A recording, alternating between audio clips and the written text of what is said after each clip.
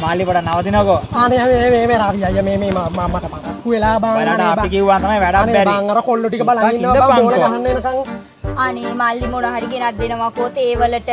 අයියෝ මන් දන්නේ මොනවද මේ උඹලා මේ පවුලේ අයින් බම් මේ තැපැල් කන්තුරුව ගාව දියා වුණා මේ දී වැදන් ඉන්න කියනුනේ මුද්දරාලෝ ගන්නකම් අනේ තරි මල්ලි හොඳ මල්ලි අනේ ඉතින් අනේ තේවලට හරි හරි හරි එයාලා දෙන්නම් කුපලට ෂේ පාන් ගෙඩියක් මල්ලි.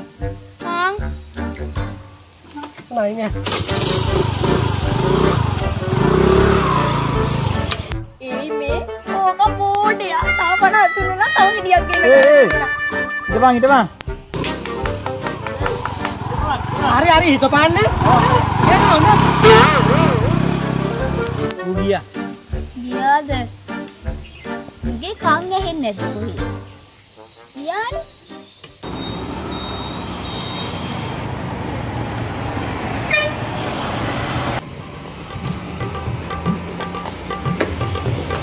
මුදලාලි උපමල්ලි. මොනවද ඕනේ? මුදලාලි මට හිටපාන් ගෙඩියක් දෙන්න හිටපන් ගෙඩිය. ඔව් ඔව් මේ හිටපාන් ගෙඩියක් shopping එකක දාලාම දෙන්න මුදලාලි යකෝ මූමු කාඩ දෙන්න හදන්නේ මේ. හිටපන් නෑ. කෙලපන් තියෙන මොකටද ඕනේ? ඒත් කමන්නේ කීයක් විතර වෙනවද දෙකේ දෙකේ පොළු වඩි තුනක් විතර. මුදලාලි මේ ඇහුවට තරහ වෙන්න බා ඔය LBC එක කොහොමද දන්නේ නෑ. මල්ලි එක මහෝගනි.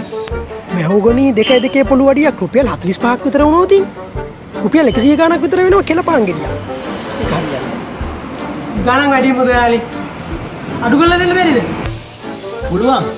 පොල්ලේ දිගින් නෙමෙයි. වටාඩි වලින් අඩු කරලා දෙන්න. ඒත් මුදලාලි රුපියල් 100ක් වෙනවනේ මං එහා කඩේ මුදලාලිගෙන් අර පාන් ගෙඩියක් ඉල්ලන් යන්න ඵලයන්. ඉතින් හම්බ වෙයි.